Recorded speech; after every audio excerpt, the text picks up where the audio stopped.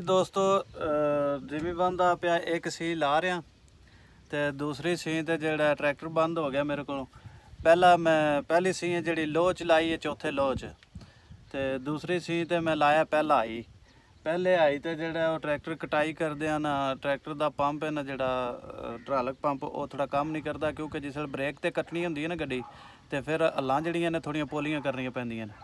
ਤੇ ਉਹ ਮੈਂ ਹੱਲਾਂ ਪੋਲੀਆਂ ਕੀਤੀਆਂ ਨੇ ਤੇ ਉਹਨੇ ਜ਼ਿਆਦਾ ਹੱਲ ਚਾਹੀ ਨਹੀਂ ਨਾ ਆਇਆ ਤੇ ਉਹ ਟਰੈਕਟਰ ਬੰਦ ਹੋ ਗਿਆ। ਤੇ ਅਸਲ ਵਿੱਚ ਮੈਂ ਵੀ ਕੋਈ ਨਹੀਂ ਕਦੇ ਕਿ ਜ਼ਿਆਦਾ ਚਲਾਇਆ ਹੈ, ਬੜੇ ਅਰਸੇ ਬਾਅਦ ਚਲਾਉਣ ਲਗਾ। ਅੱਗੇ ਉਹ ਟਰਾਲੀ ਤੇ ਥੋੜਾ ਅੱਗੇ ਪਿੱਛੇ ਲੈ ਕੇ ਜਾਂਦਾ ਰਹਿਣਾ ਲੇਕਿਨ ਜ਼ੀਮੀ ਅੱਜ ਬੜੇ ਅਰਸੇ ਬਾਅਦ ਵਾਹਣ ਲਗਾ। ਤੇ ਜ਼ਮੀਨ ਵੀ ਬੜੀ ਵੀ- ਪੀਡੀ ਹੋਈ ਹੈ, ਬਾਰਿਸ਼ਾਂ ਹੁੰਦੀਆਂ ਰਹੀਆਂ ਨੇ ਨਾ ਤੇ ਮਾਲ ਡੰਗਰ ਵਿੱਚ ਉਗਦਾ ਰਿਹਾ ਜ਼ਮੀਨ ਦੇ। ਤੇ ਉਹਦੀ ਵਜ੍ਹਾ ਤੋਂ ਜ਼ਮੀਨ ਵੀ ਕਾਫੀ ਪੀਡੀ ਹੈ। ਤੇ ਟਰੈਕਟਰ ਬੰਦ ਹੋ ਗਿਆ ਸਾਡਾ ਟਰੈਕਟਰ, ਜਿਹੜਾ ਉਹਦੀ ਬੈਟਰੀ ਖਤਮ ਹੋਈ ਹੈ ਇਹਨੂੰ ਵੀ ਤਕਰੀਬਨ ਤਕਰੀਬਨ 6 ਮਹੀਨੇ ਹੋ ਗਏ ਨੇ ਖਲੋਤੇ ਆ।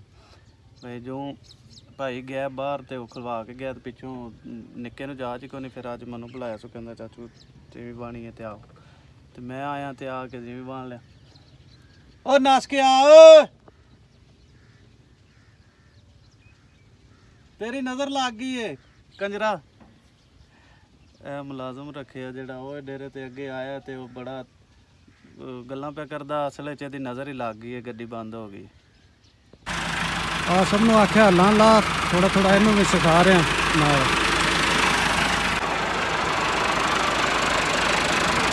ਅੱਲਾ ਪਾਣੀਆਂ ਅਮਰ ਲੈਣੀਆਂ ਮੈਂ ਲੋ ਵੇਚ ਨਾ ਕਲੱਚ ਤੇ ਪੈਰ ਰੱਖ ਕੇ ਬ੍ਰੇਕ ਤੇ ਦੇਖ ਕੀ ਚਾਹੀਦੀ ਆਲਾ ਪਤਾ।